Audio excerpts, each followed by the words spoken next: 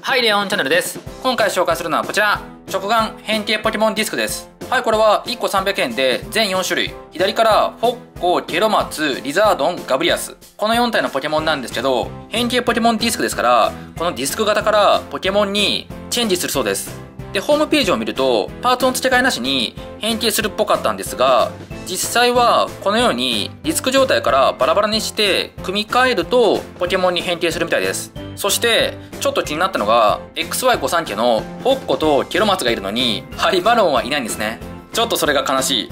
上側こうで後ろはこんな感じ。ガブリアスとかリザードンも結構すごそうですね。ただどう見ても仮面ライダー響きのディスクアニマルを思い出します。とりあえず今回はフォッコとケロマツをレビューします。ではまずフォッコ開けます。ラムネが入ってて中にはおお意外と大きい結構箱にぎゅうぎゅうに入ってますね。そして中は説明書。でビニールから出すとディスク本体とあモンスターボールになってますね。で後ろはこんな感じ。でシールはまあまあありますね。中身はこの2つです。ではシールを貼りましょう。これは予想通りかなりお手軽っぽいですね。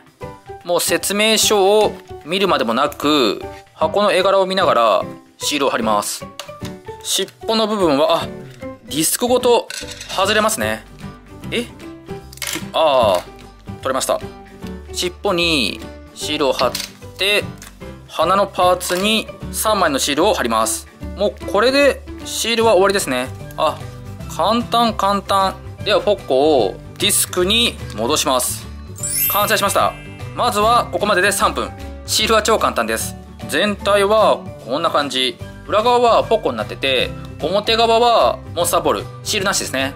それではポケモンディスク変形。ではパカッと外してパーツを1234分割します。鼻のパーツをつけて耳の位置を上に付け替え。で体はジョイントを出して手足を展開。4本ですね。ここはスライドすれば OK です。で尻尾をブスッと刺してジョイントに首のパーツをセットすれば完成。フォーコです。おーかわいい。あ、これはかわいい。しかも、変形がめちゃくちゃ簡単です。なんかパーツを一回ばらして組み替えるっていうと、あの文字バケルを思い出すんですけど、かなりお手軽で、まあ、組み替えるというか、パーツの場所をカチカチっとずらして、簡単にはめれば、あっという間にできますね。へー、かわいい。しかも、割とちゃんと自立しますから、ドンと置いて飾れますね。関節も動くので、ちょっとしゃがみっぽい感じの、こういうポーズもできます。なかなか遊びやすいですね。で、ちなみに可動は尻尾がぐりぐり動いて、前足後ろ足も前後に可動します。で、首は変形の兼ね合いで上下動くのと、ボールジョイントで自由に角度がつけられます。ゲームの絵に比べると、耳の毛の周りとか、若干違うところはあるんですけど、特徴を捉えてます。で、これをディスク状態に戻すときは、耳をはめ替えて、首を取って、畳んで、で、尻尾を外して、頭につけて、鼻も取って、ジョイントを収納。で、ここにはめて、尻尾にセットしの畳んで、戻せば、はい、できました。超簡単ですから、一回やれば覚えられますね。次はケロマツ。ケロマツは、僕が使ってたポケモンなので、期待してます。はい、中身は大体一緒ですね。ディスク状態のポケモンとシールが入ってます。これもモンスターボールの柄です。では作ります。ではペタペタとシールを貼って、顔のシールと、これは背中かな？前足は一旦外して、ペタッと貼ります。で、裏側のここにシールを貼れば、はい、これでディスク状態が完成です。3分くらいで終わりました。全体はこんな感じ。バラバラのパーツがうまいこと合体してますね。ではケロマツを変形。一旦パーツをバラバラにしてで顔に体をつけてでこのパーツを分割してボディにつけます。でここの穴にこの丸い部分を外してつけます。でボディのサイドに足のパーツを取り付けて手のパーツもはめます。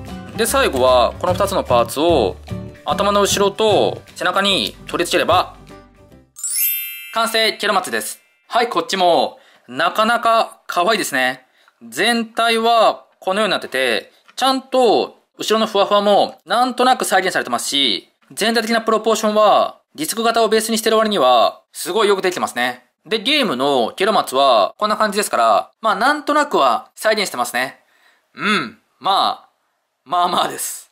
各パーツがすごいしっかりはまってますから、首とか手足が可動はなくって完全にポーズ固定です。でもしっかり自立して飾りやすいですね。はい、2体並べるとこうなります。どちらもなかなか可愛いですから、こうなるとやっぱりハリマロンが欲しいですね。ちなみに大きさはロックシードとか列車に比べるとこんな感じですからそこそこ高さがありますね。では、ケロマツをディスク状態にしましょう。手足を外して、バラバラに。で、パーツも全部取り外して、首と体も分割。これは箱を見ないと、戻すのは難しいですね。ボディに手をつけて、えー、っと、どうだったかな？このふわふわに丸いのをはめて、この二つをくっつけると。そして、刺す順番がありますね。先に、この白いのを刺してから、前足。うーん、あ、ここまで来たら、顔の横に後ろ足のパーツをはめ込んで、そこから戻すんですね。あー、これはちょっと、ちびっこ一人には若干難しいでしょうね。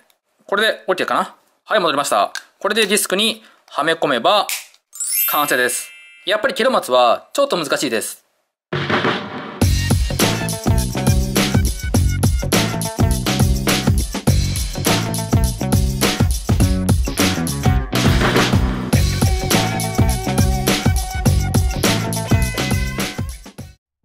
はい、ということで、食玩変形ポケモンディスクを紹介しました。案外ディスク状態から、ちゃんとポケモンに変形しますし、そこそこ大きさもあって、まあまあ遊べますね。特にフォッコは、変形が簡単ですから、これは気に入りました。では次の動画では、こちらを紹介します。以上、食玩変形ポケモンディスク、フォッコとケロマツの紹介でした。